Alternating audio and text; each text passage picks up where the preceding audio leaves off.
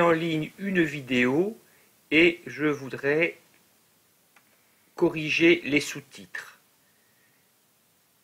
Je vais donc modifier la vidéo et je vois que ici j'ai les sous-titres. Il peut arriver que vous voyez ici les sous-titres dans cette autre vidéo ne sont pas cliquables. Dans ce cas-là, ce qu'il faut faire, c'est appuyer en bas sur plus et préciser la langue de la vidéo.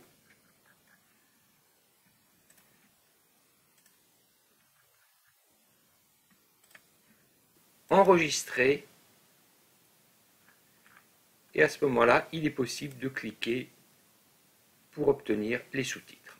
Je reviens vers ma vidéo dans laquelle je, veux corriger les sous-titres. J'ai cliqué sur sous-titres et là, je vois apparaître tout le texte qui a été dit dans cette vidéo, qui a été retranscrit. Le problème, c'est qu'il y a un certain nombre de fautes qui sont d'ailleurs un petit peu signalées. Et puis, la ponctuation laisse à désirer. Donc, dans un premier temps, je vais corriger toute la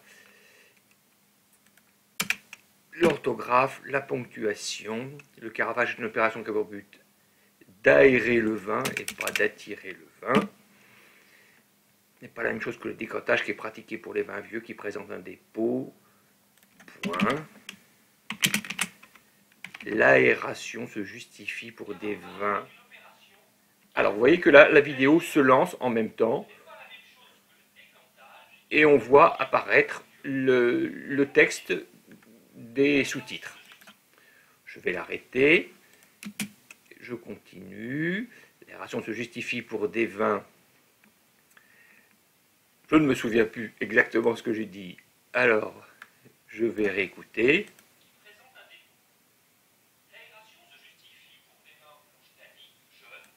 Voilà, là c'était des vins rouges tanniques et non pas d'anniques. Avec de l'astringence, voilà, et de l'amertume en bouche, point.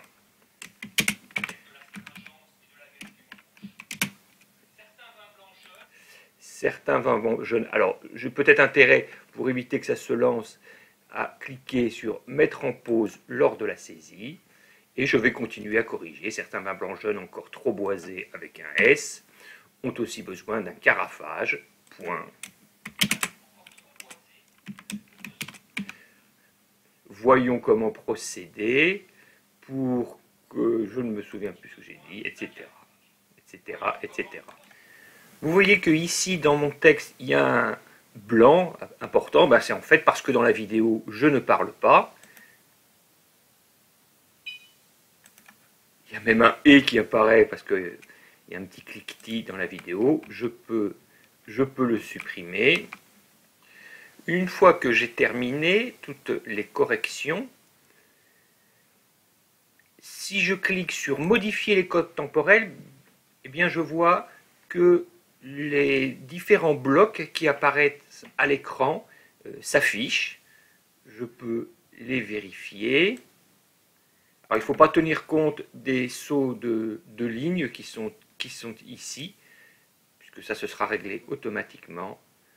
Voilà. Voilà donc les différents pavés qui apparaîtront au fur et à mesure. Ah, tiens, je m'aperçois que j'ai oublié un point ici. Voilà. Et maintenant, je vais fermer.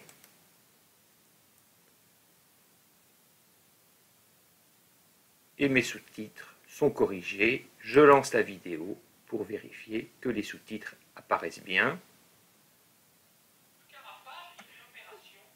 Alors là, j'ai les, sous-titres qui apparaissent en anglais parce que j'ai choisi d'échanger le paramétrage. Si je veux remettre les sous-titres en français. Voilà. Maintenant, à vous de jouer.